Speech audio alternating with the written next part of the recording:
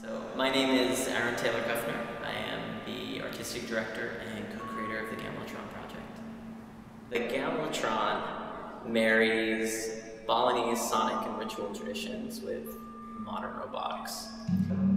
The Gamelatron has a really unique effect on people's bodies, on their emotional state, on their thinking patterns. It's not something that I necessarily intended, but it's a consequence of having really uniquely, specially tuned, vibrating bronze um, encountering humans. I don't know why it happens, but I'm pretty sure that a thousand years ago, when people first started making these instruments, that on some tacit level, they understood the impact that reverberation can have on people's psyche, on their emotions, on their bodies.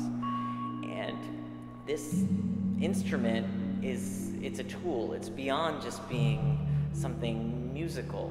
And I, I think that's why in, in Bali and Java and in Indonesia and different places, it's used for ritual, not just as background music, but energetically, it really matters to be part of that ceremony, to be part of that ritual. And I don't think it's just for song accompaniment. It's got to be more than that, but I don't claim to completely understand it.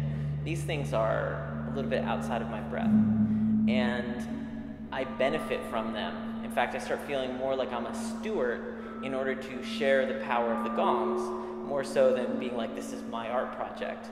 It's more like the gongs have some intention for me to like help popularize them and and share them with new generations, you know, far from the shores of Indonesia, and that we can adapt them to whatever situation that we're in, and they become kind of a resource for for us. We can spend time with them. They they can mellow us out. They can calm us down. They they trigger different kind of thinking patterns. They change your linearity, and people invariably have very special kind of experience. It, it creates its own trip, if you will.